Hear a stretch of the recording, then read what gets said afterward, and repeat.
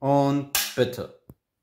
Moin Leute, herzlich willkommen zu einem neuen Video hier auf meinem Kanal. Wie ihr ähm, wahrscheinlich mitbekommen habt, ich hatte am Mittwoch, also den 11.10. Geburtstag und morgen beginnt die Schule und äh, wir backen heute meinen Geburtstagskuchen. Und zwar es beziehungsweise kein Kuchen, sondern es sind Muffins. Ähm, ich kann euch mal zeigen, wie die aussehen. So sehen die Muffins aus. Äh, das sind Vanillepudding-Muffins. Also, oder beziehungsweise wie hier steht, Muffins mit Vanillepudding. Wir machen als erstes äh, den Pudding. Äh, ja, das, weil es wichtig und richtig ist. Also, äh, als erstes, äh, hier steht, für den Pudding zwei Drittel der Milch in einen kleinen Topf geben und erwärmen. In einen Topf ist die Milch schon, ähm, aber wir müssen sie gleich noch erwärmen.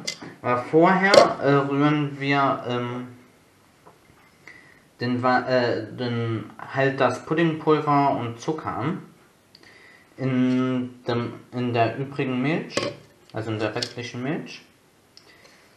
Ähm, ihr braucht äh, für den Pudding 30 Gramm Zucker, dann äh, 20 Gramm, warte, das muss ich mal gerade messen, 20 Gramm Vanillepuddingpulver. Äh, wo hab ich hier eine Schere? Wartet mal, Leute.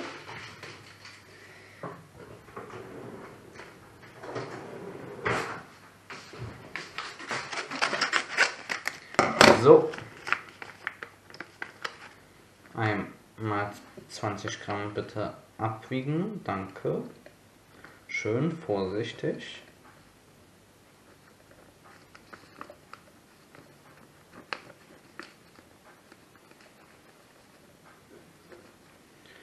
Sind jetzt bei 15, also beziehungsweise 16 Gramm. 17. 18. Ja, wann? Okay, 21 Gramm. Das ist äh, gut. Und jetzt noch äh, Vanille, äh, jetzt noch Vanillezucker, damit es nach äh, etwas mehr nach Vanille schmeckt. Hier. Bourbon Vanille. Das noch da rein.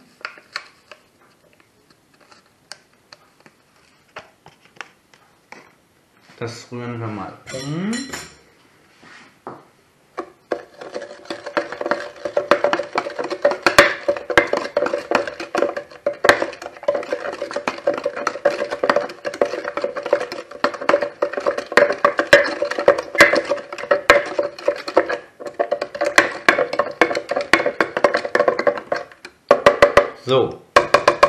Das ist jetzt umgerührt.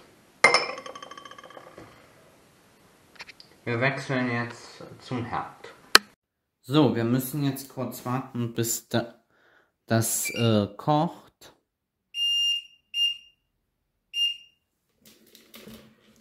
Und dann können wir das reintun. So, die Milch hat jetzt gekocht. Ich äh, tue jetzt das, äh, äh den Vanillepudding da rein. Ich habe einen kleinen Fehler gemacht, Leute. Der Vanillezucker sollte in den Teig. Ja gut, aber Leute, Fehler sind menschlich und das kann auch mal passieren. Also ist nicht schlimm, wenn ihr mal einen Fehler gemacht habt. Ich glaube, jeder hat schon mal in seinem Leben Fehler gemacht. Deswegen... Und das ist ja auch kein schlimmer Fehler. Also... Deswegen Alles gut, Leute. So, jetzt äh, umrühren, bis es äh, dickflüssig ist. So, das ist jetzt diese Pudding-Konsistenz. Ich kann das mal in die Kamera zeigen. Man sieht es schön. Das sieht schon richtig schön nach Pudding aus. Ich fülle das jetzt mal hier in eine Schüssel.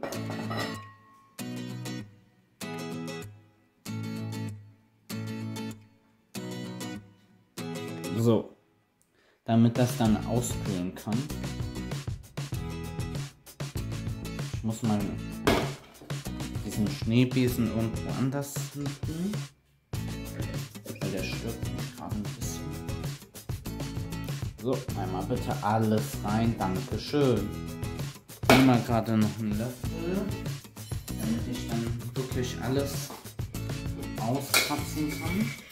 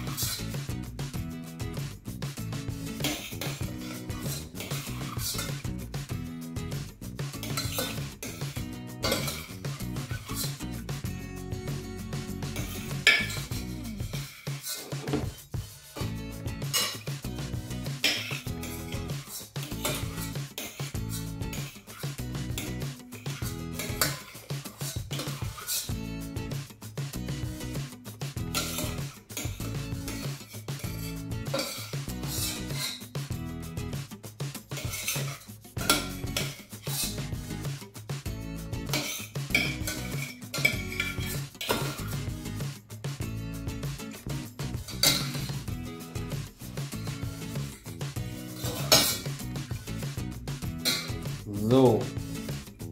Äh, äh, äh, Leute. Schon spät am Abend. Nee, wie spät ist es? Halb acht. Ähm, der Pudding ist jetzt in der Schüssel. Der kann da jetzt auskühlen. Als nächstes Zucker in eine Schüssel geben. Oder, oder auf den Deckel von der Schüssel. Das ist auch ganz äh, gut. Ne, Leute. Bitte ein bisschen mehr aufpassen, wenn ihr das Rezept nachmacht. Ist jetzt aber auch nicht so schlimm. Äh, und dann Butter noch. Äh, Butter ist ähm, auch 150 Gramm Butter. Äh, die kommt hier mal rein. Die ich mal mit dem mit zwei Löffeln rein oder wie mache ich das jetzt hier am schlausten?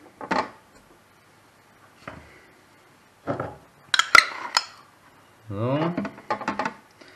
Ja, so, komm jetzt rein damit. Geh jetzt da rein.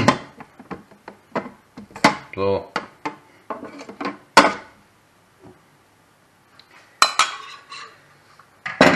Und das alles auf höchster Stufe rühren.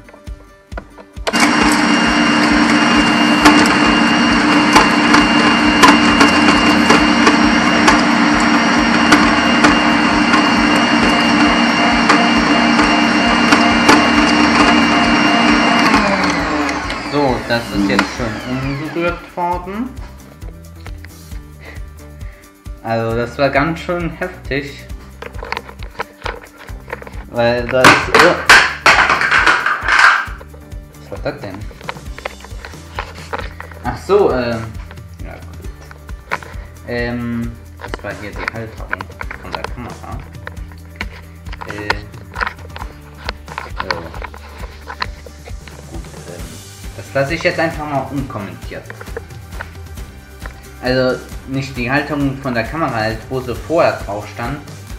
Äh, hier so eine Abdeckung. Äh, und halt die Kamera wurde per Saugnapf da befestigt und ich habe wohl anscheinend nicht mitgekriegt, dass die da noch runter, äh, also dass die da noch am Saugnapf befestigt war. Ja und jetzt liegt sie vor der Tür. So, dann. Ja, ich hebe dich gleich auf. Ah, Leute. So, machen wir mal hier den Schutz ab, damit wir mal besser gucken können. So. Machen wir nochmal hier das restliche ab. So.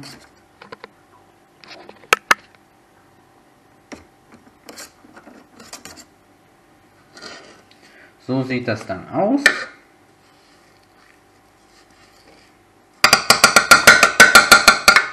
Sehr schön.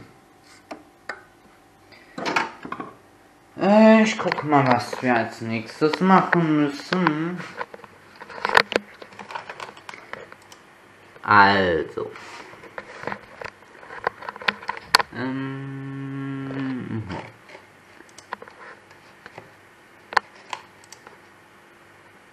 Okay, also wir müssen in diese Schüssel jetzt das restliche Puddingpulver geben.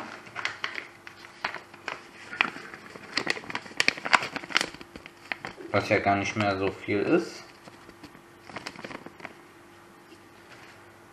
Dann müssen wir Mehl abwiegen. Wie viel Mehl? Äh, 170 Gramm, okay. Machen wir das mal hier auf. Mit einer Hand ist das jetzt gar nicht mal so einfach. So. 170 Gramm, wiegen wir das mal ab.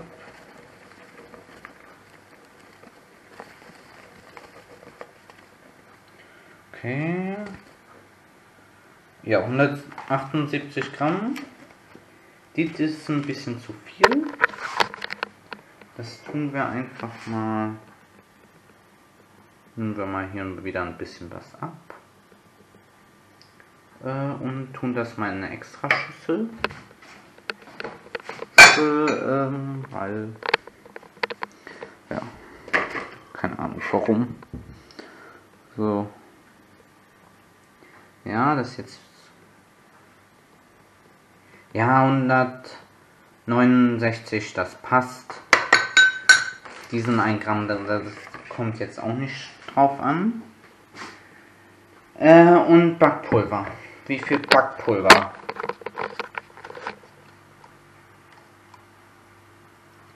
Ein Teelöffel. Okay. Ich tue den mal kurz äh, rein, weil mit einer Hand ist das ein bisschen schwierig. Von wegen schwierig mit einer Hand. Hol dir doch einfach dein Handy mit Stativ. So, ein Teelöffel, das war's. Äh, so. Ich muss mal schauen, was wir als nächstes machen.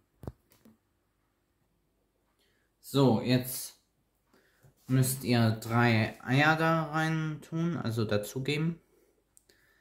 Ähm, einzeln. Man sollte machen. Jetzt machen wir mal nicht auf so höchster Stufe. Nummer 1 ist jetzt drin. Jetzt kommt Nummer 2. Lassen wir das mal hier erstmal ein bisschen umrühren. Und dann auch Nummer 3. So. Das wird jetzt hier schön umgerührt.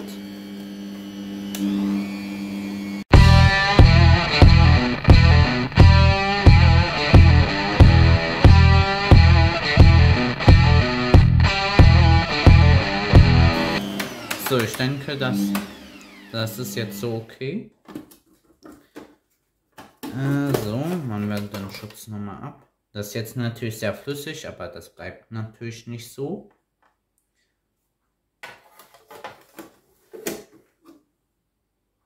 So, jetzt kommt das Mehl dazu.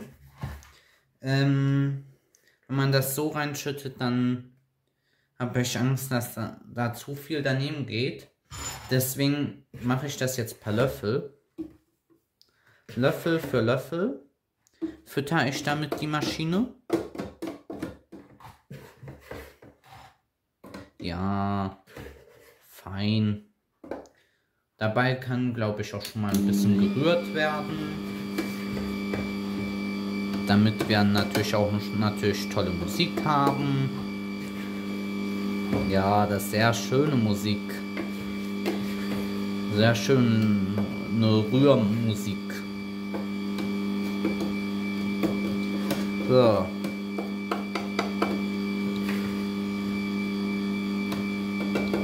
Ich glaube, die Muffins werden sehr gut ankommen.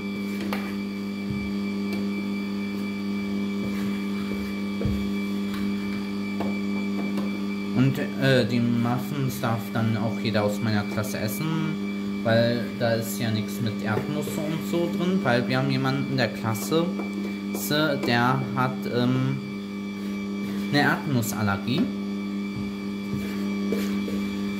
Und meiner Meinung nach ist hier nichts mit Erdnuss. Deswegen darf die auch jeder essen. Das ist doch immer schön. So, gleich ist die Schüssel leer. Noch hier. Das wird jetzt schon zu einem schönen Teig. Machen wir mal hier ein bisschen schneller. So, das wird jetzt noch hier umgerührt. So.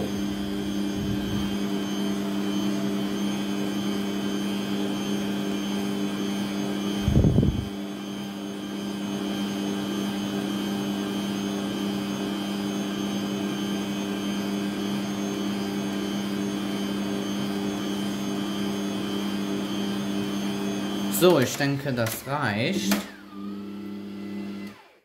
So. Einmal hier den Schutz. Machen wir mal das hier auf.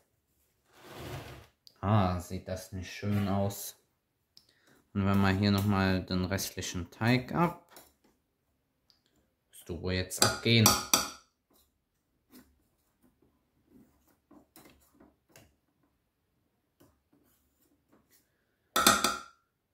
So. Ich glaube, einmal müssen wir noch, weil da ist noch ein bisschen Mehl, was untergerührt werden muss. Deswegen mache ich hier noch einmal zu und lasse das hier umrühren.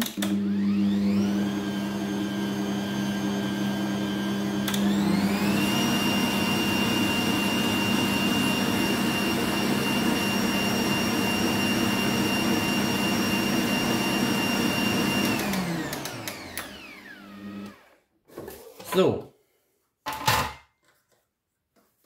Jetzt ist hier aber wirklich alles umgerührt. Und äh, machen wir mal hier wieder das ab.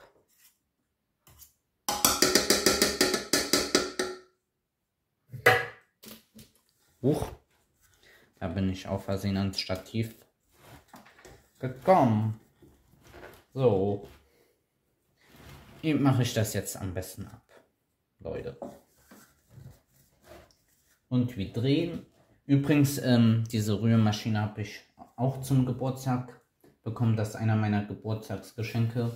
Und auch einer meiner schönsten Geburtstagsgeschenke. Äh, wirst du jetzt wohl abgehen? So, wir haben jetzt schon mal zwei Muffins testweise in die Muffins-Form reingetan. Ähm, also ihr nehmt euch erstmal ein bisschen Teig. Nicht zu viel.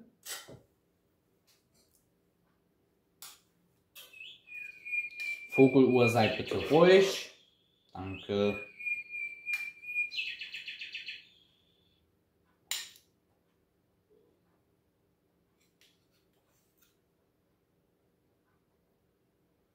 So.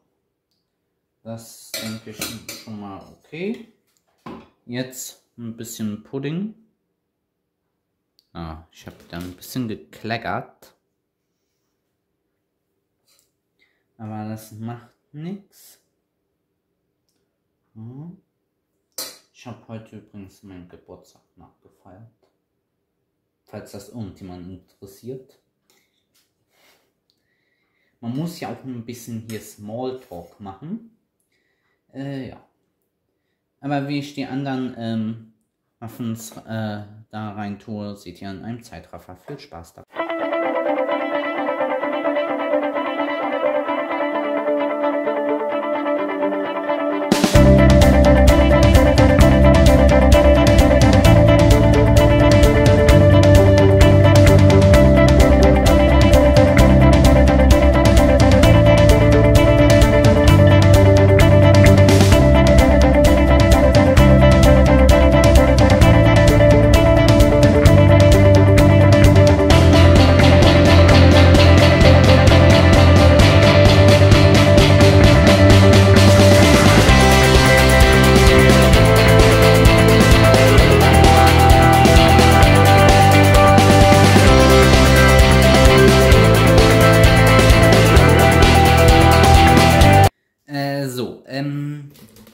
Ich habe jetzt hier alle Muffins, äh, also den Teig inklusive Pudding in die Muffinsform reingetan. Der kommt jetzt in den Backofen. Wir haben noch ein bisschen Teig übrig, daraus werden wir auch noch Muffins machen. Äh, wir sehen uns wieder, wenn alle Muffins fertig gebacken sind. So sehen jetzt die fertigen Muffins aus. Wir haben jetzt hier noch ein paar kleine gemacht, also eine kleinere Muffinsform. Halt mit dem Teig, den wir noch übrig hatten. Ja gut, der Muffin ist vielleicht jetzt nicht so schön geworden, aber die anderen sind, finde ich, meiner Meinung nach sehr gut geworden. Ja, und ich glaube, die werden äh, schmecken. Also in dem Sinne, wenn euch das Video gefallen hat, dann lasst sehr gerne einen Daumen nach oben da. Abonniert meinen Kanal für mehr solche schöne Videos und dann haut rein. Ciao, bis zum nächsten Mal. Tschüss.